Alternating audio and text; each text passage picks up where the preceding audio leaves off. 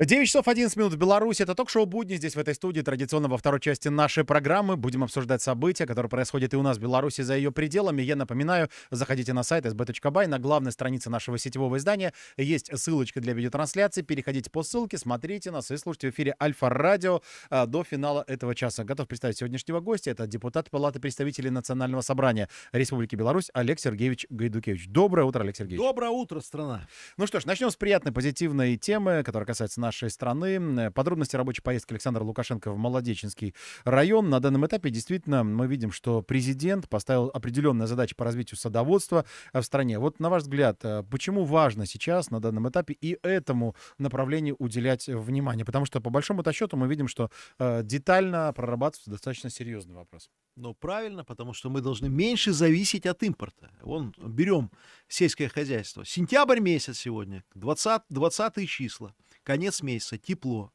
Э, меняется климат. Э, он потихонечку, каждое десятилетие меняется. Теплее, у нас по-другому уже сельское хозяйство работает. Выращиваем сейчас то, что лет 50 назад и не могли себе представить, что будем выращивать. И президент ставит четкие задачи. Импорт это не всегда хорошо. Мы должны сюда поставлять только то, что реально не можем производить. А если можем, зачем нам это нужно? Яблоки. Правильно президент говорит. Ну что, мы не можем обеспечить страну своими яблоками? Он, у каждого на даче осенью, у кого растет сад, не знает, куда их деть потом, если много деревьев. Надо все это делать, э, заниматься. Огурцы, помидоры. Не только о яблоках президент говорит. Он говорит в целом о садоводстве, о сельском хозяйстве, о том, что надо наращивать э, производство, о том, что надо уметь хранить, уметь продавать, уметь обеспечивать население всем необходимым то, что им нужно. То есть это задача максимум. И если брать глобально, политически, то это касается союзного государства во многом. Посмотрите на карту мира. Что такое союзное государство Беларуси и России? Огромная территория, огромные ресурсы. И почему мы до сих пор что-то покупаем, что могли бы делать сами? Понятно почему. Потому что в 91 году развалили СССР, предали тогда страну и рассказывали сказки, что не надо ничего производить, все купим. Весь мир открыт, все нас любят. И вспомните и 94 год, когда Лукашенко пришел к власти, ему с каждой э, трибуны Верховного Совета депутаты эти э, предатели говорили о том, что не нужны колхозы, не нужны совхозы, не надо заводы, надо все к чертовой матери убирать, развивать сферу услуг, ставить войска НАТО и нам деньги за это дадут. Вон Украина таким путем пошла, уничтожив и сельское хозяйство, уничтожив и промышленность, уничтожив и собственный суверенитет. Мы этим путем не пошли. Сегодня у нас производство загружены, сельское хозяйство развивается не только обеспечивая собственных граждан продуктами питания, но и продавая это все на экспорт.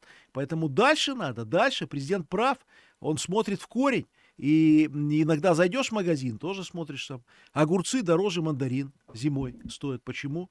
Надо разбираться. Надо, чтобы этого не было. Задачи стоят. Мы должны обеспечить людей качественными товарами, особенно теми, которые можем сами производить. Кстати, вот если брать глобально о том, как вообще, в принципе, нужно решать задачи, прозвучало от президента, что все вопросы нужно решить мгновенно, насколько это возможно. Ведь, по большому счету, это, э, это касается не только сельского хозяйства, да, не аграрные только вопросы, а в целом, да, то есть сейчас, по большому счету, время возможностей. Уже не единожды президент об этом говорил. Конечно, санкции, война, давление — это не только вызов, это еще возможность, возможность сделать качественный скачок вперед. И, кстати, во многих сферах мы это сделали, поэтому и здесь надо Э, наращивать. Посмотрите, как взбодрилась Россия после всего, что произошло. Да, это э, страшно, да, куча вызовов, да, рисков много, но при этом произошла консолидация, мобилизация.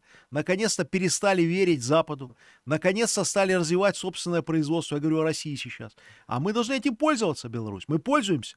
Мы сейчас должны укреплять интеграционные связи, что и делаем. Делать ставку на экономику, на создание новых производств, которые будут работать через 10, 15, 50 лет, чтобы мы не зависели. Вот мы сейчас будем делать собственный самолет в союзном государстве. Это же огромный проект. А почему не делали его 30 лет назад? 20 лет назад. Понятно почему. Потому что в России закупали это, считали, что будем всю жизнь Боингами пользоваться, что никогда санкции не ведут. Сегодня мы видим, что это не так что в любой момент нас могут ограничить от каких-то технологий. Посмотрите, что сейчас происходит на Ближнем Востоке. Пейджеры взрывают, телефоны взрывают, рации взрывают. Вот это, кстати, тоже пример неразвития собственных э, производств, зависимость тотально от западного продукта. Теперь понятно, почему американцы так Китай давят. Они не хотят, чтобы мир был разнообразный, чтобы люди могли пейджер купить и в Китае, и там, условно, на Тайване, который mm-hmm. контролируется Соединенными Штатами Америки. Им надо, чтобы все на Тайване покупали, чтобы они решали, как будет мир развиваться. Поэтому крайне важно, если брать нашу страну, Россию, союзное государство, вот именно делать ставку на свое, на сохранение своего, на развитие своего. И, кстати, наш президент про это говорил не сейчас. Он про это говорил в 94-м, в 95-м, когда в Москве элиты посмеивались и говорили, да надо нам что, продадим нефть, газ, и все купим, что захотим, и Запад нам все продаст. Сегодня уже в России это поняли. Путин это понимает. Сегодня Путин делает ставку на суверенную экономику. Э, фактически сегодня Россия пошла нашим путем. Было бы хорошо, если бы она пошла в 94 году таким путем, в 91-м. Но элиты были другие. Но слава богу, что сейчас. Тем более, что мы вместе значит, успех гарантирован. Главное, чтобы наши дети, внуки, те, кто сегодня растет, помнили это и больше этих ошибок не совершали, а рассчитывали на собственные силы. Тем более мы самое мощное образование государственное на планете. Союзное государство – это самая мощная сила. Главное работать. Кстати, то, что касается, опять же, сотрудничества с Китаем, вот на ваш взгляд, на данном этапе мы видим, что Беларусь и Китай есть все возможности для продолжения такой поступательной динамики углубления, взаимодействия во всех аспектах. Вот э, э, на ваш взгляд, э, как двигаться дальше и чем должна быть ознаменована новая глава сотрудничества? Китай нас уважает, потому что Беларусь суверенное независимое государство. Это основа, потому что если брать Европу, например, ну с кем договариваться Китаю? С Германией договоришься, завтра с Белого дома скажут по-другому, в Брюсселе надавят, и все. И другая абсолютно политика. И мы видим это, не первый раз такое происходит. Потому что в целом бы европейцы хотели с китайцами сотрудничать. Это выгодно, но им не дают. У нас же суверенная позиция, нам выгодно это. Китай нам близок по геополитическим взглядам. Китай выступает за справедливый мир, за многополярный мир. Это то, что э, ну, соответствует нашим геополитическим интересам, политическим интересам. Китай выступает за то, чтобы работало международное право, чтобы все конфликты в мире, споры решались за столом переговоров. Это тоже наша позиция. Теперь про экономику. А почему нет? Китай мощнейшая экономическая держава. У них многому можно и нужно учиться.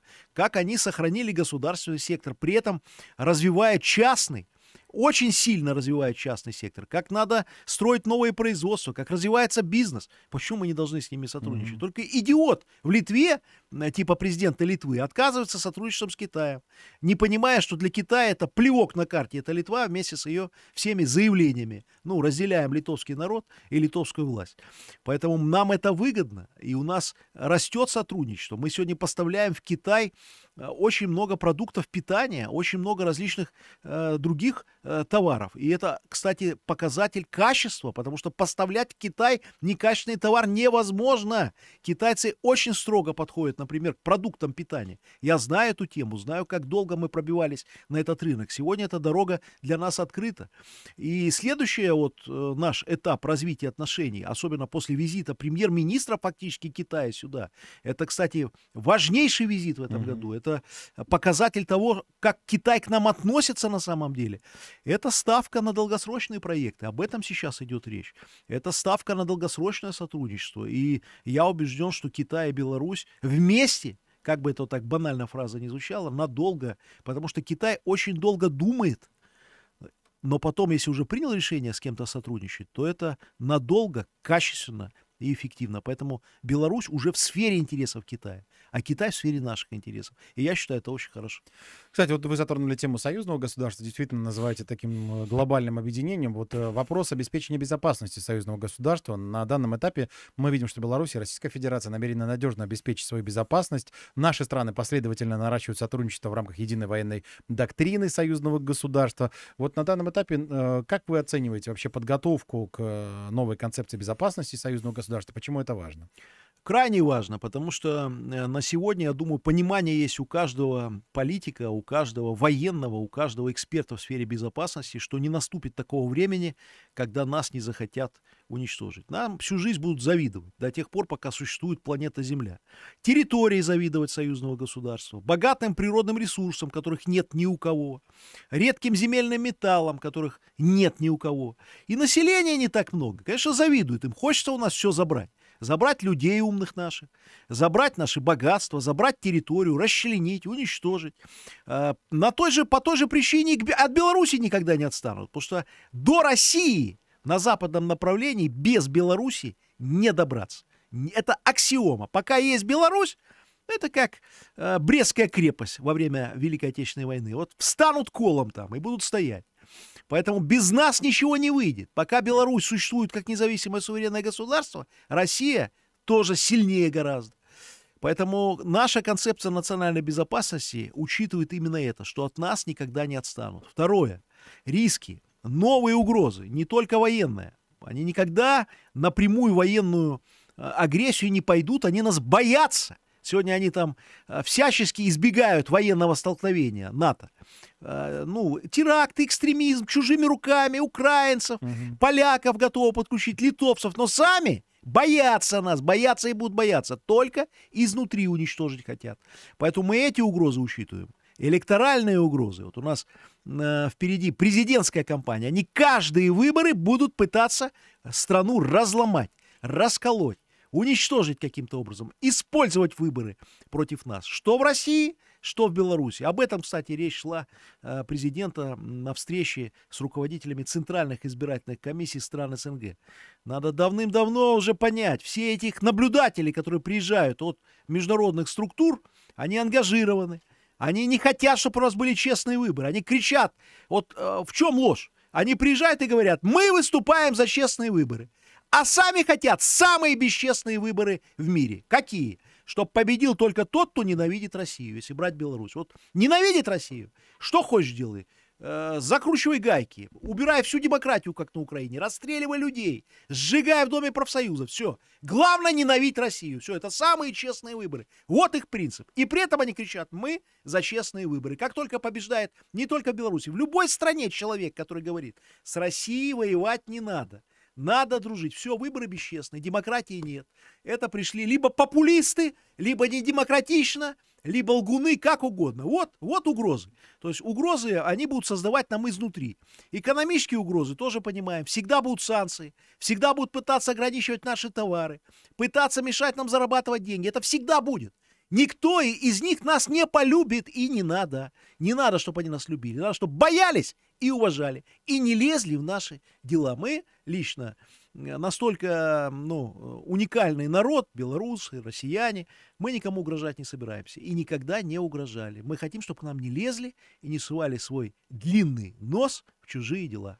Спасибо огромное. Кстати, в завершении вот э, первого нашего блока еще одна тема, которая касается э, союзного государства. Вот развитие транспортной инфраструктуры союзного государства. Мы видим, что сейчас ведется такая скоординированная работа России и Беларуси по развитию транспортной инфраструктуры. Уже ожидается, что к концу 2026 года оборот белорусских грузов через порты России превысит 20 миллионов э, тонн. Вот э, для наших стран что означает сотрудничество в э, развитии транспортной инфраструктуры?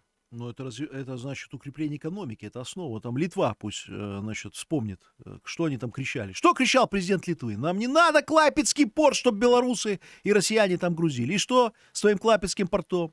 Это же иде- идиотическая политика, предательство собственных национальных интересов. Э, это я говорю о литовской власти. А мы, естественно, говорим, что если Литва закрыла порт, значит, будут другие порты. Так и произошло. Вот прошло несколько лет после того, как они нам ограничили возможности и убрали возможности э, перевозить грузы через Клайпецкий порт. Что произошло? Новые порты. Вернемся мы в Клайпецкий порт? Нет. Будете уговаривать нас возвращаться. Уже на других условиях будем возвращаться. По другим ценам. Все равно ж рано или поздно в Литве власть поменяется. Литва не будет никогда сильной без Беларуси и России. Только в союзе с нами. Потому что Литва никому не нужна. Ни Германии, ни Франции, ни тем более американцам, живущим на острове. Нам она нужна. Вильнюс наш родной город. Это белорусский город. Вильнюс. Пусть помнят это. Он нам не нужен. Мы не будем забирать ничего. Но это наш город.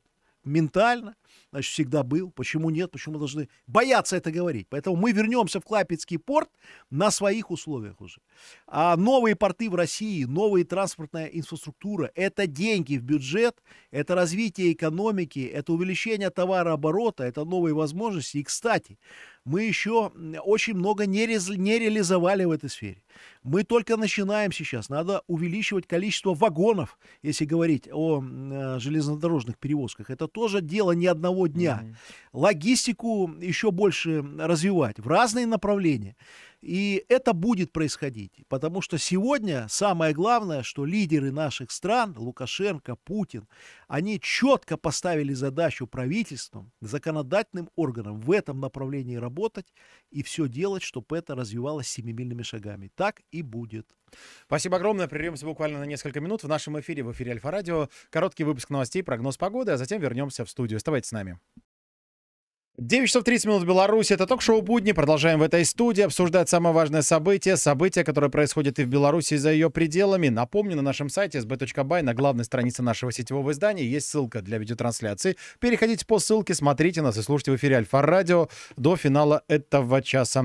В гостях у нас сегодня Олег Сергеевич Гайдукевич. Олег Сергеевич, продолжаем обсуждать темы, которые действительно волнуют каждого. Вот уже говорили о союзном государстве, говорили о вопросах безопасности. Но сейчас на данном этапе хотелось бы, наверное, еще раз затронуть э, выступление президента э, на торжественном, замечательном мероприятии, которое прошло в День народного единства, которое касается, опять же, Третьей мировой войны. Да, уже мы видим, что прошла, э, прошел достаточно такой небольшой промежуток времени, но очень обсуждают вот те заявления президента, которые он озвучил. Что, на ваш взгляд, происходит и почему глава государства в очередной раз предостерегает не только здесь страны на нашем континенте, но и весь мир от начала Третьей мировой войны? Ну, я хочу напомнить фразу фразу президента, которая больше всех, э, ну, всех, э, как это, взволновала, но она очень правдива, честна, откровенная и отражает суть вещей.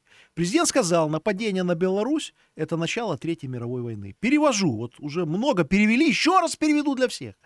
Не получится втянуть войну одну Беларусь или Польшу только.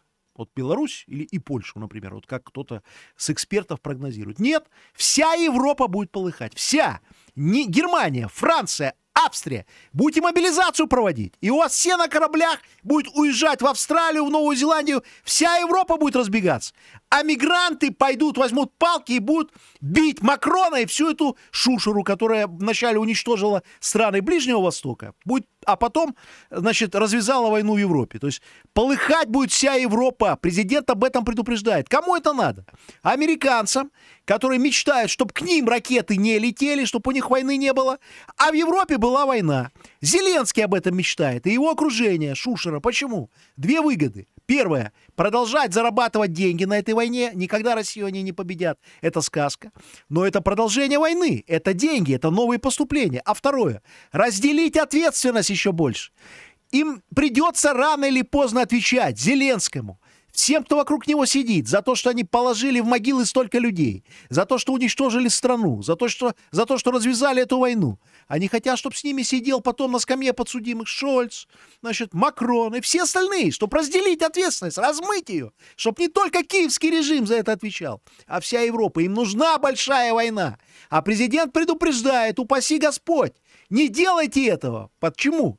Потому что, первое, американцы ошибаются, если думают, что к ним не прилетит. Если они думают, что это их не заденет. Заденет. Это будут страшные катастрофические последствия. Полетит и в Вашингтон, и в Нью-Йорк, и в Берлин, и в Варшаву. Это страшно, это надо избежать. И сегодня Лукашенко, Беларусь спасает Европу от большой войны. Тем, что мы проводим грамотную миролюбивую политику, что мы не поддаемся на провокации, что мы обсуждаем на совещаниях с президентом яблоки. Яблоки! Так вы радуйтесь, что президент не войны обсуждает, а обсуждает сельское хозяйство, промышленность. Но это не значит, что мы не думаем о войне. Мы просто все делаем, чтобы ее не было. А второй способ, как мы избегаем этой войны, это то, что мы увеличиваем свою военную мощь и будем продолжать это делать.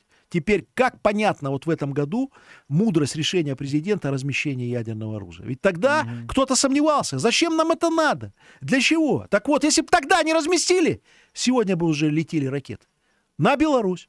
Уже бы они меньше боялись. А единственное, что спасает от войны, это их страх о том, что получат ответный удар. Не было бы этого страха, ничего бы не было. Как и американцы сегодня сомневаются, как поступать по Украине, как поступать по России. Они боятся не войны в Европе. Они боятся не того, что будет полыхать Париж и, значит, Берлин. Они бы радовались этому. Экономика будет американская расти. Они боятся, что будет полыхать Вашингтон. Это единственное, чего они боятся. И президент предупреждает весь мир – что надо это останавливать, надо садиться за стол переговоров и договариваться. Вон, что на Ближнем Востоке происходит. Ничем хорошим это не закончится. Весь мир может полыхать. Поэтому сегодня надо бороться за мир. И вот те, кто говорит о мире в Европе, они борются за войну. А Беларусь как раз-таки борется за мир и всегда боролась, потому что мы не развязали ни одного конфликта, ни одной войны. Это доказательство правдивости нашей позиции. Ну что ж, спасибо огромное. Продолжаем двигаться дальше. Еще одна тема. Во Франции утвердили новый состав правительства. Уже появляется информация о низкой поддержке президента Франции Эммануэля Макрона. Там в районе 25%, самый низкий уровень э, за достаточно длительный период. Что происходит вот в ну, электоральном как, поле? Как и во всей Европе. Поле? Как и во всей Европе во Франции. Меньшинство управляет большинством. Вот все, э, когда анализируют эту коалицию, там нету ни представителей партии Мари Лю Пен, Нету представителей левой партии, которая тоже заняла очень хорошие позиции на выборах. Макрон сформировал правительство под себя. Его называют самым правым правительством с одной стороны за 10 лет истории э, политической Франции, а с другой стороны все констатируют, что там все сторонники Макрона. Но этому правительству будет очень тяжело работать. Оно не добавит единства во Франции, потому что у французов есть четкий запрос, который они сказали на выборах и высказали э, его в кабинках для голосования что надо оканчивать войну, надо, чтобы заняться мигрантами, надо решить экономические проблемы. А как без отмены санкций в отношении России и Беларуси решить экономические проблемы Франции? Отвечаю, никак. До тех пор, пока Европа вводит санкции в отношении России и Беларуси, до тех пор, пока не следует курсу Белого дома, никак экономические проблемы французов не решатся. Они решатся, когда дешевый российский газ пойдет, нефть, когда Россия и Беларусь откроются для европейских товаров, когда закончится этот бред в виде санкций и ракет, которые они поставляют на Украину, когда они реально займутся причинами миграции, тогда начнутся решаться экономические проблемы французов и всей Европы. А до этого момента этого не будет. Поэтому ничего новое правительство не решит. Оно усугубит кризис во Франции. Рейтинг Макрона продолжит падать и ждет Франции, э, Францию еще не один политический кризис. Кстати, то, что касается миграции, вот опять же, напомню, 16 сентября э, в Германии э, на всех внешних границах страны введены контрольные меры, которые призваны предотвращать незаконное пересечение границы и усилить безопасность. Помогут ли? Никогда не поможет, ничего. Это популизм. Популизм канцлера Шольца, который потерял поддержку немцев, которые уже устали от преступности, устали от этой миграционной политики. Они, немецкие власти, видят популярность партии альтернативы для Германии и пытаются у них забрать очки, проводя вот такие популистские жесты. Ничего это не решит.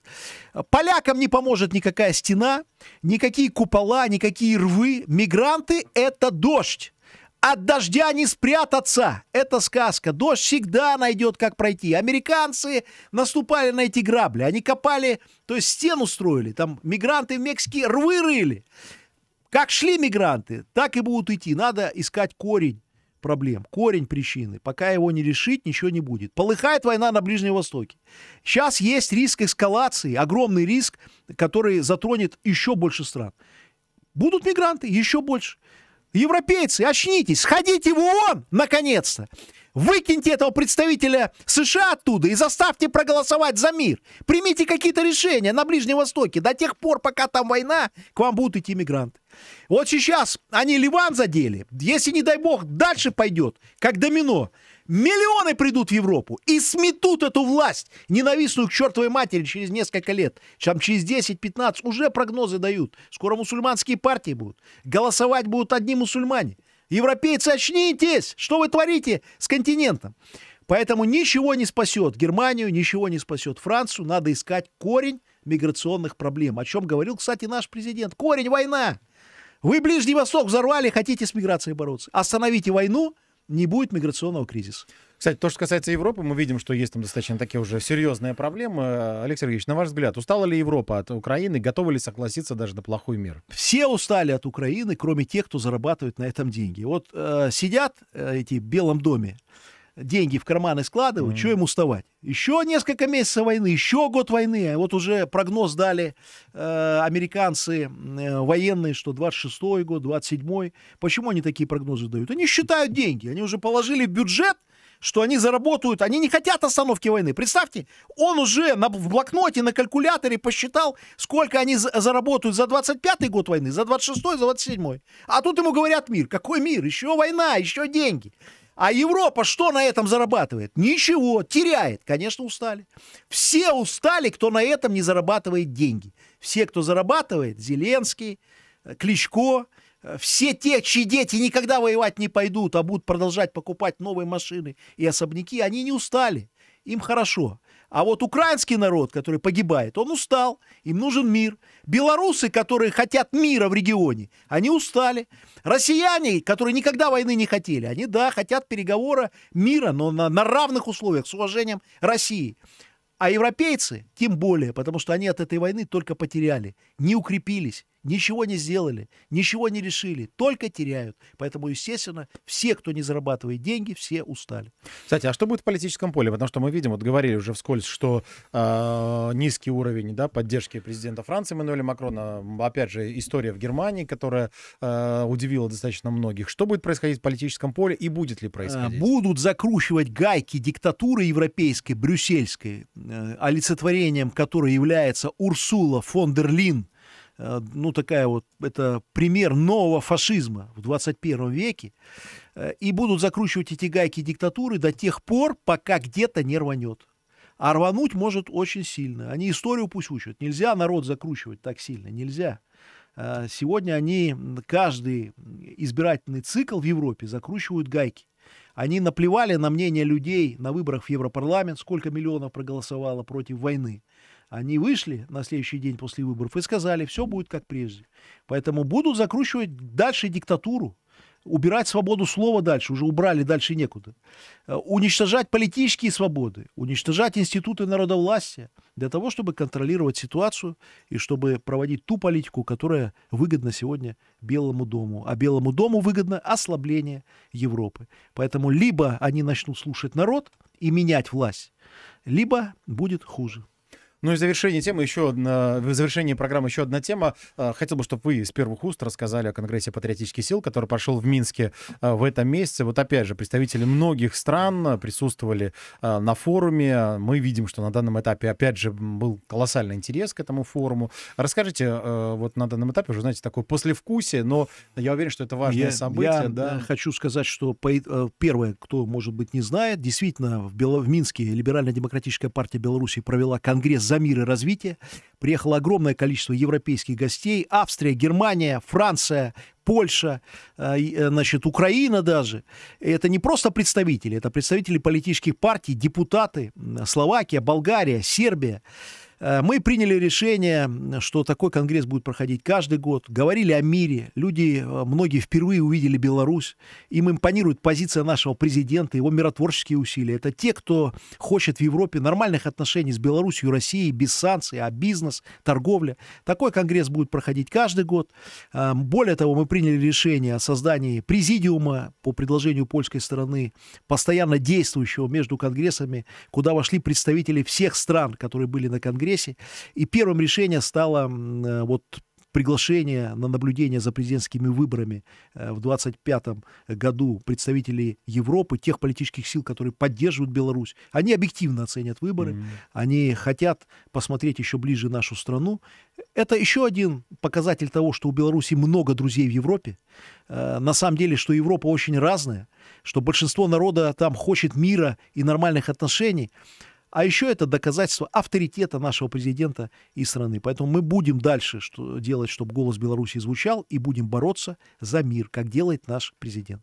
Ну что ж, спасибо огромное. Время наше подошло к завершению. Самые яркие цитаты сегодняшнего разговора читайте в нашем сетевом издании sb.by на протяжении всего дня. И слушайте в эфире Альфа-радио с 17 до 19.00. В гостях у нас был депутат Палаты представителей Национального собрания Республики Беларусь Олег Сергеевич Гайдукевич. Олег Сергеевич, спасибо вам огромное за спасибо, разговор. До новых встреч. Да, всем отличного дня и отличной рабочей недели. До встречи в буднях.